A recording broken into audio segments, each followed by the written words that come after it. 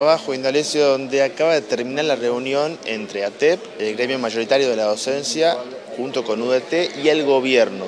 Fracasó el encuentro, no hay acuerdo salarial todavía, pese a que estamos ya cercanos a septiembre, y el acuerdo determina cómo se va a aumentar el salario de los docentes entre agosto y octubre. Hay dos sindicatos que ya firmaron un 45%, pero ATEP sigue sin llegar a un acuerdo. Vamos a escuchar ahora a Hugo Brito, que es el secretario general, que está hablando del incentivo y conectividad, cosa que nosotros este, rechazamos totalmente.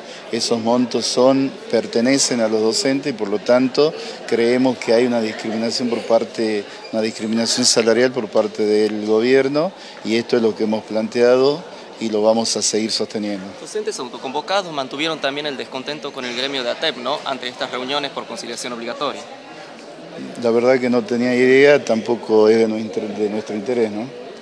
Bueno, entonces rechazan por ahora lo que ofrece el gobierno, que es un 45%. Ustedes, ¿qué es lo que están proponiendo? ¿Cuál es la distancia entre lo que dice el Ejecutivo y ustedes? Nosotros, eh, digamos, hacemos y y pedimos lo que ha establecido el Congreso en nuestro caso, que es un, un básico de 125 mil pesos y un mínimo de 260 mil pesos. De todos modos, en los diálogos estamos buscando puntos de consenso, pero ni siquiera estamos llegando a eso.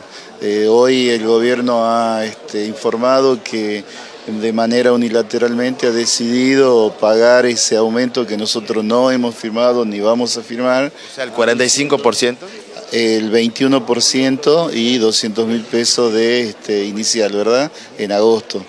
Eh, por el contrario, nosotros seguimos sosteniendo lo que ha, determinado el Congreso, eh, porque vemos que la situación económica se ha agravado con esta devaluación que hemos tenido hace poco y es necesario que la recomposición sea una recomposición real y que le sirva al docente. muchas gracias. ¿eh? Gracias. Bueno, hasta ahí entonces la palabra de Hugo Brito explicando y ahora estamos viendo que está por salir